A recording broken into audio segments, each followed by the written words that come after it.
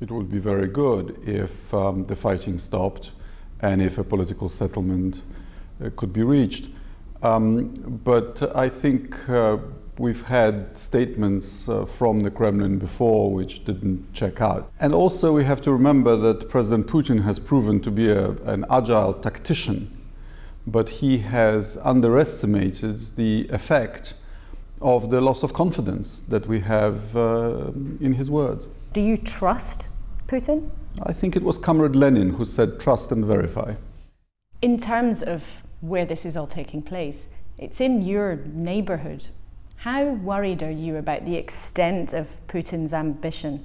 Does Poland feel threatened? Poland is indeed a neighbour of both Russia and Ukraine.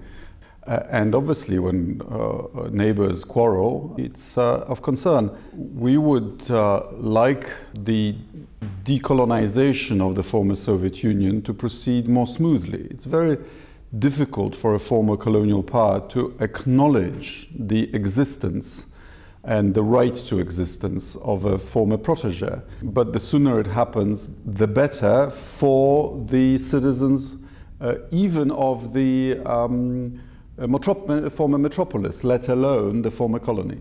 But it looks like an awful lot more than Putin having difficulty acknowledging the decolonization of the former Soviet Union. It looks like quite the reverse that he's actually trying to extend his President power. Putin has indeed stated his aims rather frankly in his annexation speech um, of the Crimea. Uh, but it's so bold and so brazen that many in Europe um, still can't believe that it's for real. Do you believe it's for real? Oh, yes. NATO's proposals appear to be rapid response force of several thousand troops to protect Eastern Europe.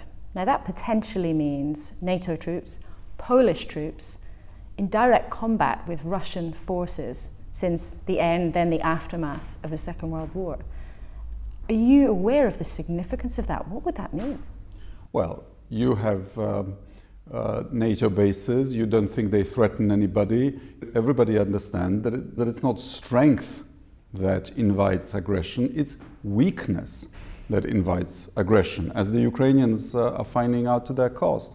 So, NATO belatedly strengthening its eastern flank is um, at last beginning to level the uh, security across the NATO uh, treaty area uh, with the hope of, uh, of preventing what you've just described.